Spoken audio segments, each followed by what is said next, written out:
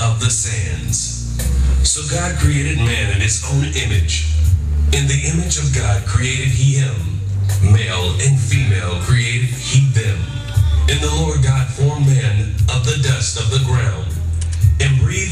nostrils the breath of life. And man became a living soul.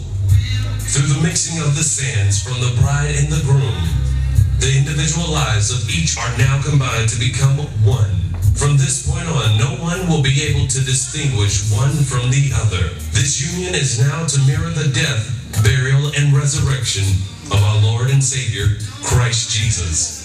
The death, the extinguishing of each, behind, the resurrection. The two now become one flesh, one mind, one heart, and one love. That is eternal.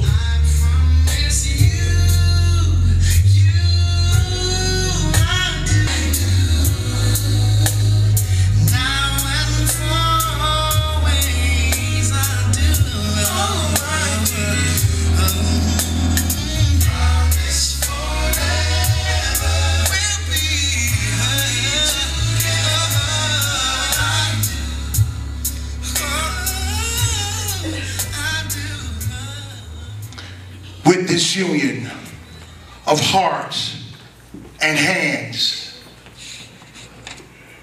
And by the authority vested in me as a minister of the gospel, and by the law of the state of Florida, and in the name of the Almighty God, our Father, I now pronounce you man and wife.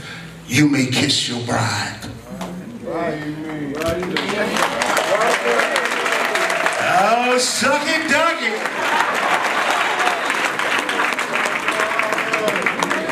Ladies and gentlemen, with everyone stand as I present to some and introduce to other Mr. and Mrs.